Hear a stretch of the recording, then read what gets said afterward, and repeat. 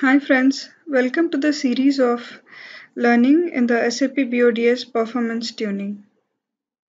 In this tutorial, we will discuss uh, the things that we can do to the source and target databases for improving the performance of SAP BODS jobs. So the source and target databases have to be optimized. Okay, so first we will discuss about the source database. It should be tuned in such a way that all the select statements are done as quickly as possible.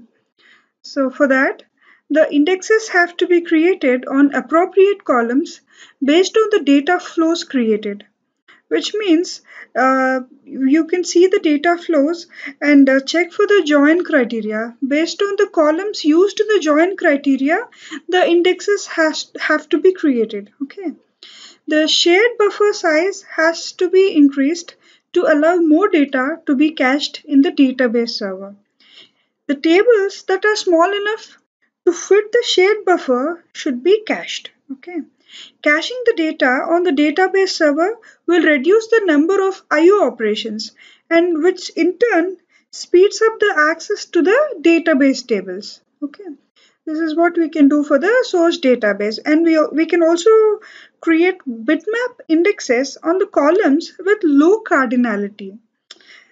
See, bitmap index is a special kind of index uh, which is used uh, by the Oracle um, like uh, it uses the bitmaps or bit arrays okay?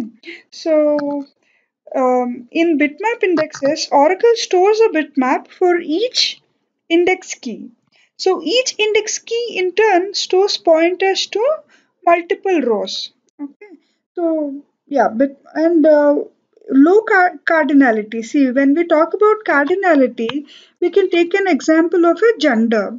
So in gender, we have two uh, two rows, right? Like the male and the female. So uh, so when we have few distinct values for one particular column, then it's it's the low cardinality. Okay. So next we'll talk about the target databases. So what we can do for the target. So it has to be tuned in such a way that um, the inserts and updates are done as quickly as possible. So for that, we'll have to turn off the archiving log, okay? And the redo log also have to be turned off for all the tables. Rollback segments have to be tuned to improve the performance tuning. Data files and redo logs have to be kept in a different raw file. So this improves the uh, performance. So the size to size of the shared buffer has to be increased. So also we can do something for the source uh, operating system and the target operating system.